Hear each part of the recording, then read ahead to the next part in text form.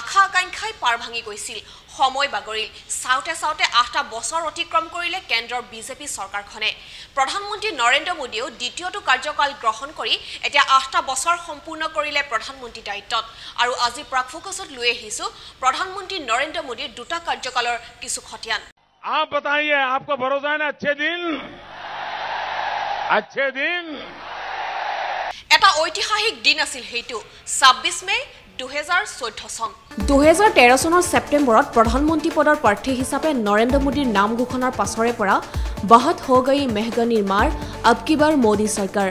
হাম মোদীজীক লানে ৱালেহে আচ্ছে দিন আনে ৱালেহে আদি শ্লোগানবোৰ প্ৰতিধ্বনিত হৈ জনপ্ৰিয়তাৰ শীৰ্ষত আৰোহণ কৰিছিল। কিয়নো ইতিমধ্যে কংগ্ৰেছ চৰকাৰৰ ওপৰত মানুহৰ ক্ষোভ অসন্তুষ্টি হতাশাই সীমা চেৰাই গৈছিল আৰু সেই সুযোগতে বৃহৎ জয়েৰে ক্ষমতা দখল কৰিছিল বিজেপিয়ে। দুহেজাৰ চৈধ্য চনৰ লোকসভা নিৰ্বাচনত ভাৰতীয় জনতা পাৰ্টীয়ে দুশ বিৰাশীখন আসন লাভ কৰিছিল। প্ৰথমবাৰৰ বাবে এটা অকংগ্ৰেছী দলে সংখ্যাগৰিষ্ঠতা লাভ কৰি চৰকাৰ গঠন কৰাৰ ইতিহাস ৰচিছিল বিজেপিয়ে।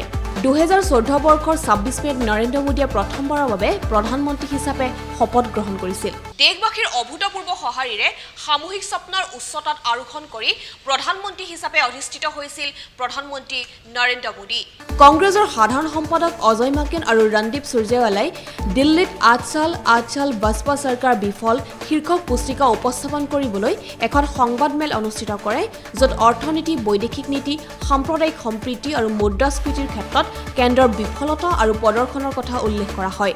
মাকেনে কৈছিল যে প্ৰতিটো বিফলতা আনটোতকৈ বৃহৎ। সেয়া মুদ্ৰাস্ফীতিয়ে হওক বা কৃষকৰ সমস্যাই হওক।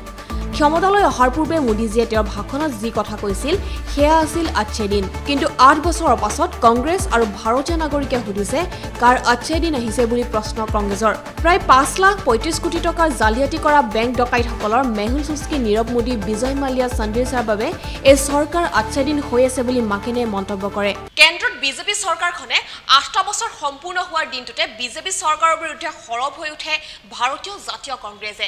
ভাৰতীয় জাতীয় কংগ্ৰেছে এই আঠটা বছৰত বিজেপিৰ কামৰ খতিয়ান উলিয়াই এখন ৰিপৰ্ট কাৰ্ড প্ৰকাশ কৰে। বৰ্ধিত মুদ্ৰাস্ফীতি কংগ্ৰেছৰ ৰিপৰ্ট কাৰ্ডে চৰকাৰক বৰ্ধিত মুদ্ৰাস্ফীতিৰ সৈতে সাধাৰণ মানুহৰ জীৱনত বিষক্ৰিয়া কৰাৰ অভিযোগ উত্থাপন কৰিছে।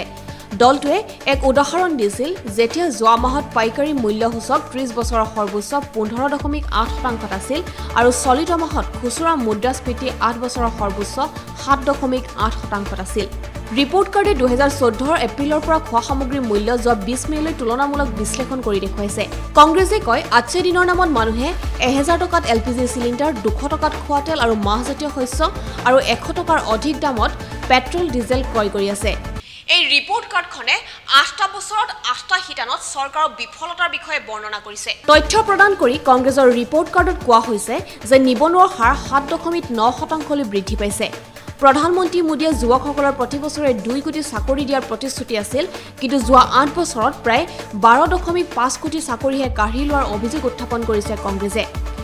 ৰিপৰ্ট কাৰ্ডখন বিমুদ্ৰাকৰণৰ বিষয়টোক তুলি দিয়া হৈছিল যেতিয়া পঞ্চাছ লাখতকৈ অধিক লোকে চাকৰি হেৰুৱাইছিল। ৰিপৰ্টে লগতে কয় যে ভাৰতে দুহেজাৰ আঠাইছ চনত চৌত্ৰিছ দশমিক পঁয়ত্ৰিছ কোটি নতুন চাকৰিৰ সুযোগ সৃষ্টি কৰিব লাগিব যাৰ অৰ্থ হৈছে প্ৰতি বছৰে তিনিৰ পৰা চাৰি কোটি নিযুক্তিৰ সুযোগ। কংগ্ৰেছে কৈছিল যে ভাৰতীয় টকা এছিয়াৰ আটাইতকৈ বেয়া প্ৰদৰ্শনকাৰী যেতিয়া মুদ্ৰাটোৱে পঁয়সত্তৰ বছৰত ইয়াৰ মূল্য আটাইতকৈ বেছি হ্ৰাস কৰিছে। দুহেজাৰ বাইছ চনৰ মে'ত টকাৰ মূল্যৰ প্ৰতি আমেৰিকান ডলাৰত সাতসত্তৰ দশমিক একাশী টকাৰ সৰ্বাধিক হ্ৰাস দেখা পোৱা গৈছিল। প্ৰধানমন্ত্ৰী মোদীয়ে যুৱকসকলক প্ৰতি বছৰে দুই কোটি চাকৰি দিয়াৰ প্ৰতিশ্ৰুতি প্ৰদান কৰিছিল। কিন্তু আঠ বছৰত বাৰ দশমিক পাঁচ কোটি চাকৰি কাঢ়ি লোৱাৰ অভিযোগ উত্থাপন কৰিছে ভাৰতীয় জাতীয় কংগ্ৰেছে। কিয়নো শেহতীয়া মাহবোৰত কেইবাখনো ৰাজ্যৰ অস্থিৰতা দেখা গৈছে। ইয়াত কোৱা হৈছে যে ভাৰতত দুহেজাৰ ষোল্লৰ পৰা দুহেজাৰ বিছ চনৰ ভিতৰত তিনি হেজাৰ চাৰিশটা সাম্প্ৰদায়িক সংঘৰ্ষৰ ঘটনা সংঘটিত হৈছে। যাৰ ভিতৰত আছিল দুহেজাৰ বিছ চনৰ দিল্লী সংঘৰ্ষ যেতিয়া তেপন্নজন লোক নিহত হৈছিল। কেন্দ্ৰই নিজে দুহেজাৰ ষোল্লৰ পৰা দুহেজাৰ একৈছ চনৰ ভিতৰত পাঁচ বছৰত তিনি হেজাৰ চাৰিশটা সাম্প্ৰদায়িক সংঘৰ্ষৰ ঘটনা স্বীকাৰ কৰিছে। নিৰাপত্তাৰ বিষয়টো উত্থাপন কৰি কংগ্ৰেছে কয় যে ভাৰতৰ জনগাঁথনিগত অখণ্ডতাক চীনে আক্ৰমণ কৰিছে। যিয়ে লাডাখৰ কেইবাটাও অঞ্চল দখল কৰিছে কিন্তু মোদী চৰকাৰ নীৰৱ। চীনে লাডাখৰ গুগ্ৰা আৰু হট স্প্ৰিং দখল কৰিছে। চীনে অৰুণাচল প্ৰদেশত এক প্ৰকাৰ গাঁও নিৰ্মাণ কৰিছে। কিন্তু মোদী চৰকাৰ দেশক সুৰক্ষা দিয়াত ব্যৰ্থ হোৱাৰ অভিযোগ উত্থাপন কৰিছে কংগ্ৰেছে। আৰু ইয়াৰ সৈতে আজি প্ৰাক ফ'কাছৰ পৰা মই অংকিতা বিদায় লৈছো। পৰৱৰ্তী বাতৰিৰ বাবে চাই থাকিব প্ৰাক ডিজিটেল।